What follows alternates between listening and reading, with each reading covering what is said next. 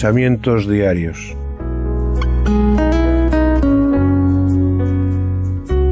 Sencillas pero profundas reflexiones para cada día de nuestras vidas. Meditaciones de la palabra de Dios nacidas de un corazón agradecido por su gracia y misericordia.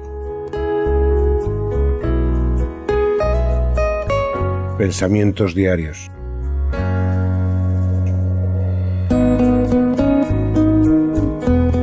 Un devocional de lectura personal obsequiado por Radio Luz a las Naciones, canal cristiano de comunicación, con el único deseo de compartir con todos vosotros la esperanza en Cristo que hay en nuestros corazones. En las manos del alfarero. Y descendí a casa del alfarero, y he aquí que él trabajaba sobre la rueda, y la vasija de barro que él hacía se echó a perder en su mano, y volvió y la hizo otra vasija según le pareció mejor hacerla. Jeremías 18, versículos 3 y 4. Cuántas vueltas da la vida, ¿verdad? En ocasiones a lo largo de esta vida nos vemos como esa pella de barro que el alfarero colocó en el torno, la rueda. Y aunque no podemos salir de ella, hubo y habrá momentos en los que desearíamos estar en otro lado, pero cuando llega el momento de abandonarla, nadie se quiere bajar del tío vivo de la vida.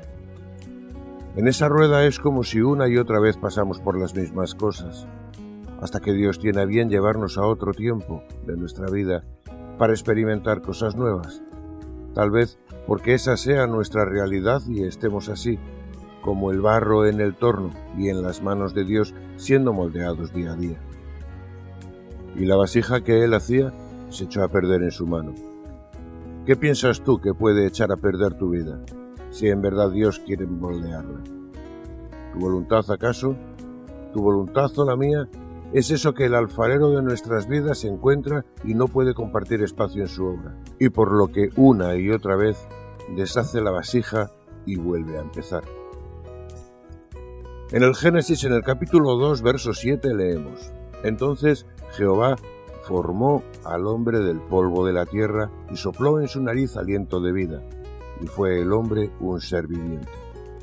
Como vemos, no es la primera vez que la Biblia nos muestra nuestra condición de estar y ser formados en las manos de Dios. Dios desde el principio nos enseña quién creó todo lo creado y cómo sucedió. Él tiene la soberanía del Creador sobre nuestras vidas y llevará a cabo su obra aún a pesar de nuestra voluntad terca y carnal.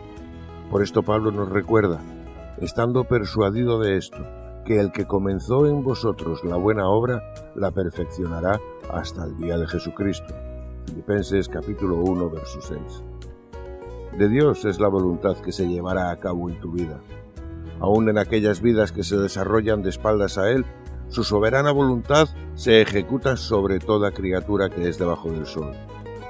Nadie, ni uno solo de los hombres creados escapará del juicio de Dios y esta también es su voluntad.